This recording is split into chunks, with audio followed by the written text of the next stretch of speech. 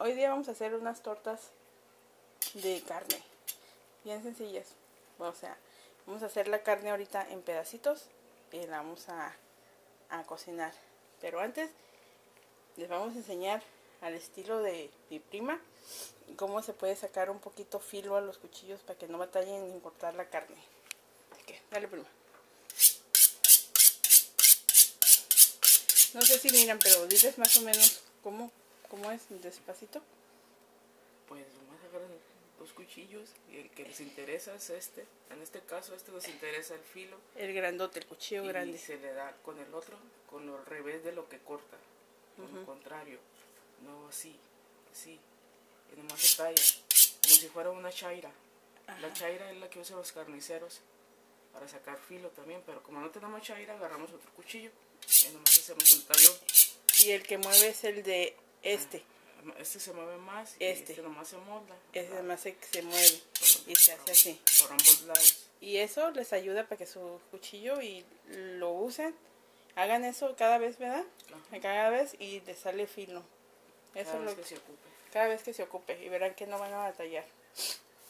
Ok, entonces en, eh, lo vamos a hacer en pedacitos y le vamos a... ¿Qué le voy a echar? Ok, le vamos allá, la carne está partida en pedacitos, así que se la vamos a añadir a nuestra cazuela. También le vamos a añadir sal, un poquito de sal, porque le vamos a poner dice un sal que también es sal y este es como sazonador para la carne para ya no tenerle que echar más cosas. Y le vamos a poner pimienta también y entonces solo la vamos a freír. Ah, eso es nomás para darle sabor a la carne lo que le echamos ahorita y la vamos a freír para ocuparla para ponerla en nuestras tortas que aquí están. Nuestras tortas las vamos nosotros a dorar un poquito aquí en este hornito chiquito portátil. Ahí las vamos a meter las vamos a dorar Mm, también se me olvidaba decir de este ingrediente a ver si se es este es nor pero es para caldo para de res o sea para esta carne. Así que eso le puse ahorita unas cucharaditas y para que agarre un rico sabor. Entonces aquí tenemos nuestros virotes pan y lo partimos a la mitad y nosotros vamos a usar este hornito portátil.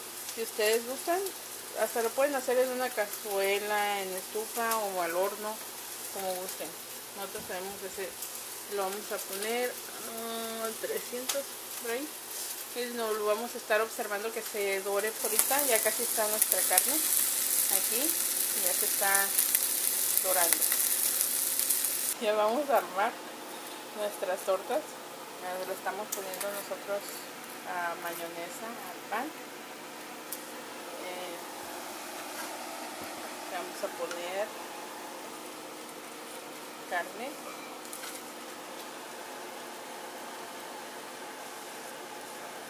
Y estos son los ingredientes que vamos a ponerle nosotros tomate repollo y con, acompañarlos también con un chile jalapeño. Ah,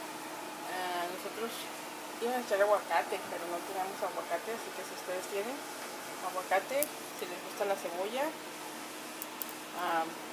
rajitas de, de cebolla y ya de esta manera armamos nuestra torta.